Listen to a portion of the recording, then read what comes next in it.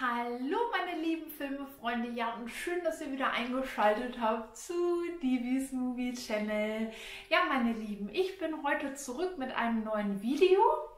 Und zwar wollte ich das eigentlich schon eher machen, aber ich bin jetzt aufgrund dieser Corona-Geschichte, die jetzt überall ähm, natürlich in Deutschland und in den anderen Ländern ist und so, aber natürlich jetzt so verstärkt auch hier in Deutschland ähm, freigestellt worden von der Arbeit. Vielleicht geht es dem einen oder anderen ähm, zurzeit auch so. Und ähm, ja, ich habe dann halt gedacht, ähm, jetzt fährst du natürlich morgens nicht zur Arbeit, dann machst du zu Hause halt viel und ich habe dann im Garten total viel gemacht und das Zimmer hier neu gestaltet. Ja, ihr seht, neue Farbe, es ist alles ein bisschen anders. Ich hatte ja sonst hier das Sofa stehen. Ähm, das steht jetzt woanders. Ich habe diesen ganzen Raum jetzt neu gemacht und ähm, ja, das ging innerhalb von kurzer Zeit. Ich habe dann eigentlich gedacht, so, ja, yeah, jetzt streichst du mal, ich hatte das schon länger vor und ähm, ja, so habe ich mir jetzt die Zeit ähm, zu Hause ein bisschen vertrieben und jetzt, wo alles fertig ist, ähm, kommt es jetzt zu dem Video, ähm, was ich natürlich schon länger geplant hatte und zwar hatte ich ja ähm, für euch ein Unboxing-Video gemacht zu der Director's Cut-Version von Gesetz der Rache. Und da hatte ich ja gesagt, wenn ich den Film geschaut habe, dann mache ich für euch eine Review. Und soweit ist es jetzt gekommen. Also ich habe den Film jetzt endlich in der Director's Cut-Fassung gesehen, also ungeschnitten. Und da Gesetz der Rache zu einem meiner Lieblingsfilme gehört, war das natürlich ein Muss. Und das möchte ich euch jetzt heute zeigen. Ja, und ähm, ich habe die Filme beide jetzt auch schon hier hingelegt. Also ihr seht jetzt beide Versionen vom Gesetz der Rache. Tada! ja, also das hier ist die normale äh, Blu-ray-Kaufversion und ähm, das hier der Director's Cut ähm, auf der Steelbook auf der Steelbook, in der Steelbook Edition. Aber Leute, ihr wisst Bescheid. Auf jeden Fall wollte ich die beide jetzt nochmal hochhalten, ähm, dass ihr seht, also diese Version ist hier ähm, ab 16 und die Steelbook Edition Director's Cut natürlich ähm, ist dann freigegeben ab 18 und ihr habt hier auf der normalen Version dann circa 108 Minuten und auf der anderen 119. Also das ist wirklich schon enorm und ähm, ja, zu dem Cover hat, hat sich natürlich einiges getan. Also es ist schon ein Unterschied von vorher zu nachher. Und ähm, ich bin auf jeden Fall, wie ich auch schon in einem Unboxing gesagt hatte, zu der Director's Cut Version mega happy mit diesem Cover. Aber ähm, dazu kommen wir gleich. Also den lege ich jetzt erstmal weg. Das war Gesetz der Rache äh, die normale Version und wir befassen uns heute mit diesem. ja, und ähm, für die Leute, die den Film natürlich noch nicht kennen oder mein Unboxing noch nicht gesehen haben, ich werde unten in der Infobox natürlich auch noch das Video verlinken, ähm, wo ich äh, euch den Film vorstelle und ähm, ja, in der Hauptrolle von Gesetz der Rache spielt Gerard Butler an der Seite von Jamie Foxx. Ja, sind beide mega coole Schauspieler. Ähm, ich liebe Gerard Butler sowieso, also als Schauspieler. Er hat so, so viele tolle Filme gemacht und er ist mir auch von Anfang an gleich sympathisch gewesen und hier ist er mal richtig in einer super coolen, ernsten Rolle. Ja, und ähm, so sieht das Ganze nochmal aus für die Leute, die jetzt mein vorheriges Video noch nicht gesehen haben.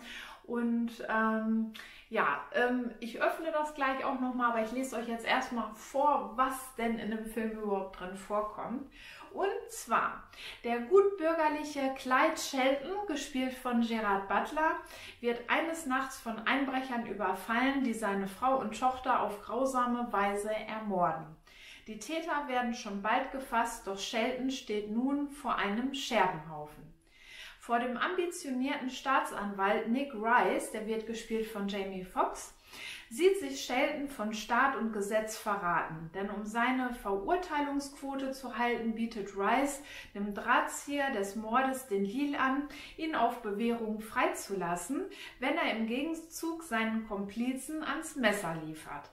Er nimmt Recht, Ordnung und Gerechtigkeit selbst in die Hand, um endgültig seinen Frieden zu finden.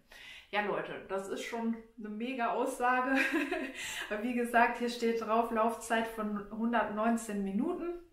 Somit habt ihr einige Minuten mehr zu der normalen, wie ich ja eben schon sagte. Und ähm, für die Leute, die es auch interessiert, ihr habt hier jeweils in Deutsch und Originalsprache, also in Englisch 5.1 Sound. Und hier sind auch noch mega viele Extras drauf, wie das Rechtssystem, Making of, die Entwicklung der visuellen äh, Infekte, Effekte, Blick hinter die Kulissen und Interviews. Also da habt ihr noch mal richtig viel ähm, zu sehen und ich zeige euch jetzt mal, wie die Blu-ray ausschaut. Also so nochmal das ganze Steelbook an der Seite so und von hinten dieses mega Cover. Also ich liebe das, dieses Motiv einfach.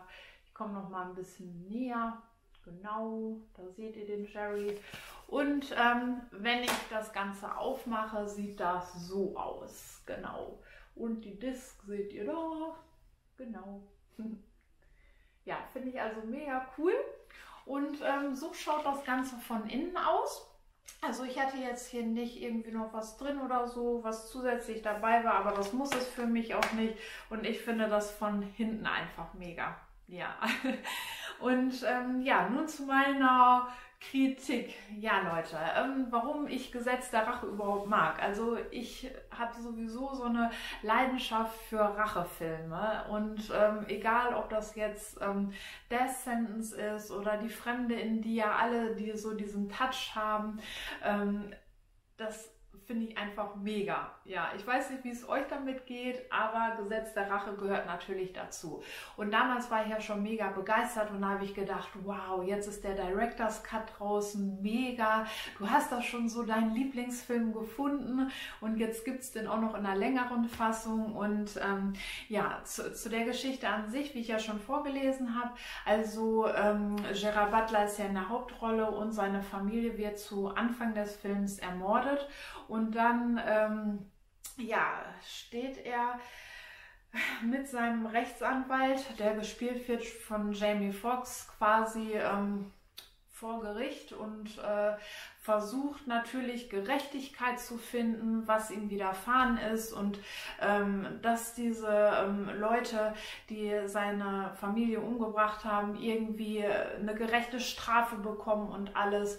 Und ähm, wie ihr selbst wisst, das Rechtssystem ist nicht immer so, wie man sich das wünscht. Leute ermorden welche und dann kommen die nach ein, zwei Jahren oder so wieder raus.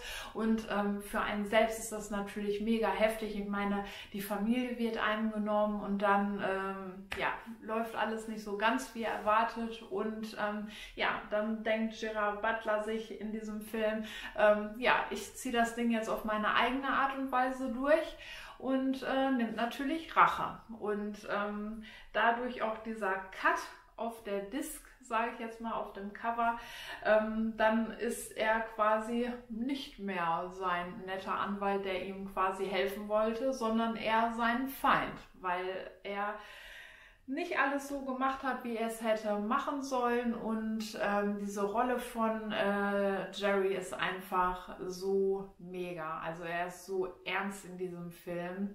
Und ähm, wie soll ich sagen, der Film ist nicht so, wie ihr andere Filme ähm, kennt, die so mit Rache zu tun haben. In der Sense ist, ist, es ja so, dass es so direkt ist. Also der Film mit Kevin Bacon, ähm, dass er jetzt losgeht und so Rache nimmt. Aber Gerard Butler ist im Gefängnis und macht das Ganze von innen und anders. Er hat seine Taktik und das ist schon äh, richtig cool. Also ähm, es ist nicht vorherzusehen, was er überhaupt in diesem Film macht. Also ihr habt mega Action, ihr habt Überraschungsmomente. Er ist richtig brutal, was Rache angeht. Ähm, auch Szenen, wie er Rache nimmt an demjenigen, ähm, der seine Familie ermordet hat, ist richtig heftig. Und ich muss sagen, ähm, die Director's Cut Version habe ich schon wahrgenommen. Also ich habe schon gemerkt, dass mehrere Szenen jetzt neu waren, die ich vorher nicht gesehen habe oder dass Kameraszenen jetzt ähm, anders waren, das Bild ähm, irgendwie länger äh, zu sehen war, stand und ja, es war nicht so schnell gecuttet einfach. Also es war total angenehmer, äh, diesen Film jetzt zu sehen. Und ähm, dadurch, dass manche äh, Szenen gezeigt worden sind, die auf der normalen Version jetzt nicht zu sehen waren, hat dieser Film jetzt auch diese FSK 18 bekommen. Und ähm, ich hatte dann auch noch auf der Seite von Schnittberichte geguckt, da steht dann auch noch mal alles drin, weil am Anfang habe ich schon gedacht, hm, äh, es passiert irgendwie nichts, was ich jetzt noch nicht gesehen habe. Aber dann kam das schon, ah ja, stimmt und so. Und ähm, da könnt ihr auch mal reinschauen. Also das fand ich auf jeden Fall mega interessant interessant, dass man das dann dort auch nochmal nachschauen konnte. Und ähm, ich muss auf jeden Fall sagen, dass ähm, für alle Leute, die so Rachefilme, Actionfilme an sich überhaupt lieben, so mit Gefängnis und Co., alles drumherum, ähm, ist dieser Film auf jeden Fall ein Muss. Und ähm, ja, ich bin auf jeden Fall mega happy, dass ich den in meiner Sammlung habe. Ich werde euch natürlich nicht verraten, wie der Film ausgeht. Das lasse ich natürlich offen. Aber für die Leute, die den Film schon gesehen haben, ihr könnt mir ja gerne mal unten in die Kommentare schreiben, wie ihr den Film so fandet, ob ihr meine Meinung teilt, ob ihr den vielleicht auch schon in der Sammlung habt oder ob ihr vielleicht gar nicht so meiner Meinung seid. Das würde mich mal interessieren. Und ähm, ja, ich lege den jetzt mal zur Seite. Das war auf jeden Fall meine Review zu Gesetz der Rache, der Director's Cut mit Gerard Butler und Jamie Foxx. Ja, ich hoffe auf jeden Fall, dass euch mein Video gefallen hat, dass ihr Spaß daran hattet. Ich habe mich auf jeden Fall gefreut, das Video heute für euch zu machen. Und ähm, ja, bis dahin wünsche ich euch noch einen super schönen Tag. Bleibt gesund, meine Lieben, und wir sehen uns wieder beim nächsten Video. Bis dahin. 上午。